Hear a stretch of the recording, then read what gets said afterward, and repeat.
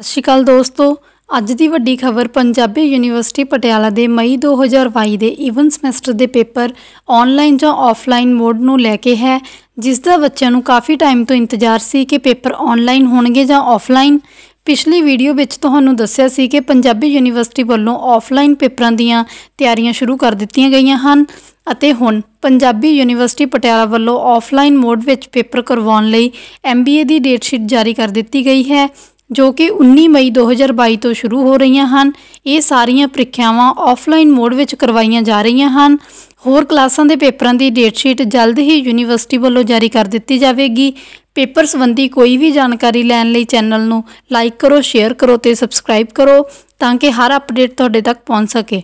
ਜੇਕਰ ਪੇਪਰ ਸੰਬੰਧੀ ਤੁਹਾਡਾ ਕੋਈ ਵੀ ਕੁਐਸਚਨ ਹੈ ਤਾਂ ਤੁਸੀਂ ਕਮੈਂਟ ਬਾਕਸ ਵਿੱਚ ਕਮੈਂਟ ਕਰਕੇ ਪੁੱਛ ਸਕਦੇ ਹੋ। ਧੰਨਵਾਦ।